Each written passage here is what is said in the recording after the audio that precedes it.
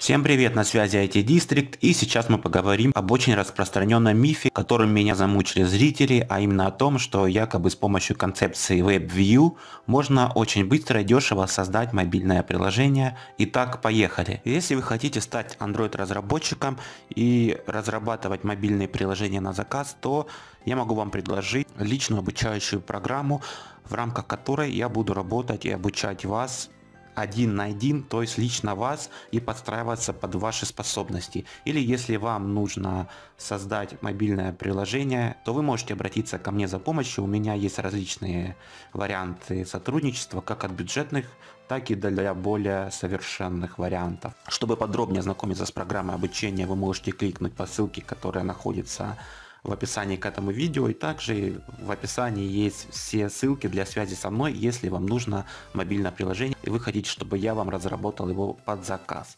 В общем, кликайте по ссылке в описании. В общем, в чем тут дело? Меня в последнее время атаковали зрители с вопросами, а что такое WebView и правда, что с этим подходом можно создать мобильное приложение для Android быстро и дешево. И правда, что за таким подходом будущее, я, конечно, знал про такой виджет, как WebView, но я никогда не знал и не предполагал, что это какой-то там подход. И я решил разобраться, откуда тут эта идея вдруг возникла.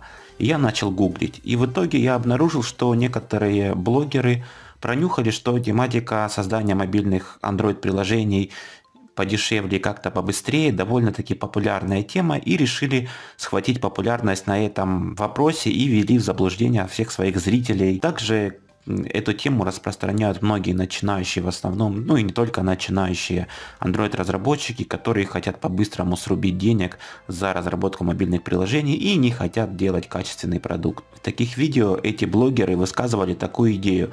Например, у вас есть свой сайт или интернет-магазин, и вы хотели бы еще под него создать мобильное приложение на Android. Такие люди решили сыграть на чувствах таких пользователей и раскрыли тему о том, что Например, вам не нужно создавать свое какое-то особое мобильное приложение, продумывать его архитектуру, какой-то особенный функционал, не нужно подключать базу данных, вам не нужно продумывать сочетание UI элементов приложений, то есть различных кнопок, переключателей, окон и так далее. То есть как бы вами манипулируют и вам говорят, что вам не нужно решать ряд проблем, которые по факту будут неизбежны при разработке любого нормального мобильного приложения. Вместо этого они как бы вам дают такую волшебную кнопку и говорят, что WebView позволяет просто превратить ваш сайт в мобильное приложение. Все это на самом деле, все это большой обман. WebView это обычный виджет, это элемент мобильного приложения, который позволяет просто просматривать веб-страницы. В базовом использовании при клике по ссылке внутри такого WebView у вас будет открываться браузер с сайтом.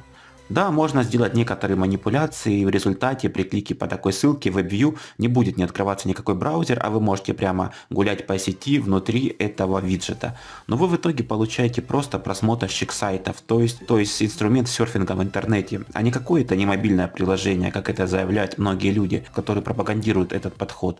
Мой ответ на вопрос, стоит ли использовать подход WebView, однозначно нет. Это полный отстой и шизофрения. Это не концепция и не метод создания приложения, это обычный просмотрщик страничек в интернете.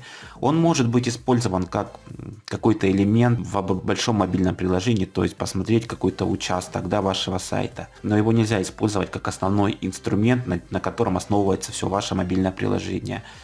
И вроде бы якобы такие мобильные приложения, которые были созданы путем манипуляций, и используют чисто WebView, он, они, такие приложения начали блокироваться компанией Google. И это правильно, это правильный подход. Не попадайте в лапы мошенникам. Если вы решили создать свое мобильное приложение, то делайте это качественно, с продуманной архитектурой, с нормальной базой данных и с правильным подходом.